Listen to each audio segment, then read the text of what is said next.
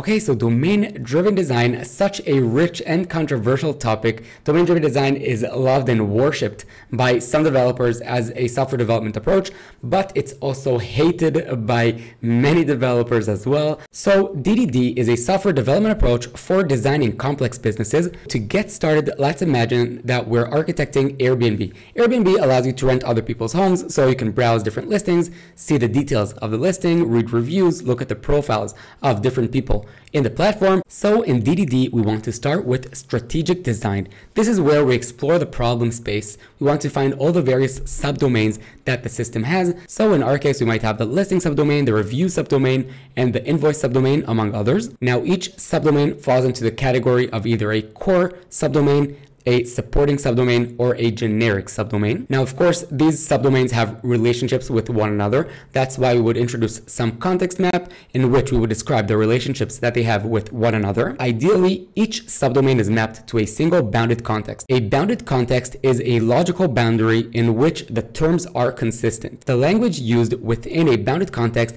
is referred to as its ubiquitous language and is one of the most important concepts in domain-driven design since it allows everyone to speak in the same language and the terms in the code are the same terms that are used to talk to the business experts. An example for this is the term host in our listing subdomain will refer to a person renting their home and not someone who is hosting a party. After strategic design comes tactical design. This is when we zoom in on implementation details.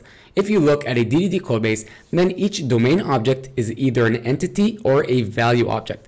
An entity has an ID and is mutable, while a value object doesn't have an ID and is immutable. If you take two entities, they are considered equal if they have the same ID, even if the values are completely different. And two value objects are considered the same if the values of the properties are equal. One or more domain objects that always need to be consistent as a whole are called an aggregate.